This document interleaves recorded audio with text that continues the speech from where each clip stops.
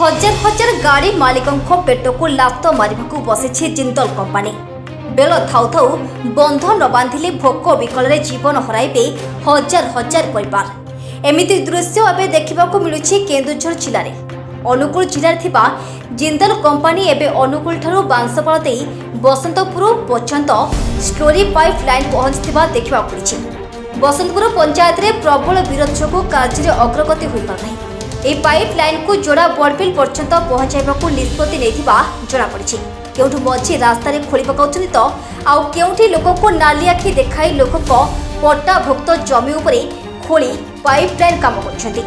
ତେବେ ଉକ୍ତ pipe line ଯଦି ସଫଳ ହୁଏ ତେବେ କେନ୍ଦୁଝର ଜିଲ୍ଲାର ହଜାର ହଜାର ଗାଡ଼ି ମାଲିକ ଏବଂ ତାଙ୍କ ପରିବାର ପେଟକୁ ଆହାର ଦେବ କିଏ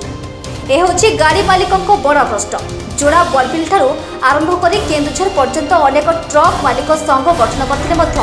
এভাবে পেটকু লাত মারা যাওয়া জিন্দল কোম্পানি প্রতি তিড়ে মাত্র বিরোধ করা যাও না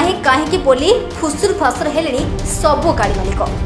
ଯଦି ଜିନ୍ଦଲ କମ୍ପାନୀ ପାଇପଲାଇନ୍ ଯୋଗେ ଖଣି ଅଞ୍ଚଳରୁ ସବୁ ପରିବହନ କାର୍ଯ୍ୟ ହାତେଇବ ତେବେ হাজার ହଜାର ଗାଡ଼ି ମାଲିକ ଏବଂ ତାଙ୍କ ପରିବାର ପେଟକୁ আহার দেব কি ଏଣୁ ଏଥିପ୍ରତି ଧ୍ୟାନ ଦେଇ ଜିଲ୍ଲା ପ୍ରଶାସନ ଏବଂ ଟ୍ରକ୍ ମାଲିକ ସଂଘ ପକ୍ଷରୁ କୌଣସି ପଦକ୍ଷେପ ଗ୍ରହଣ କରି ଏଭଳି କମ୍ପାନୀକୁ ବିଦା କରି କେନ୍ଦୁଝର ଜିଲ୍ଲାର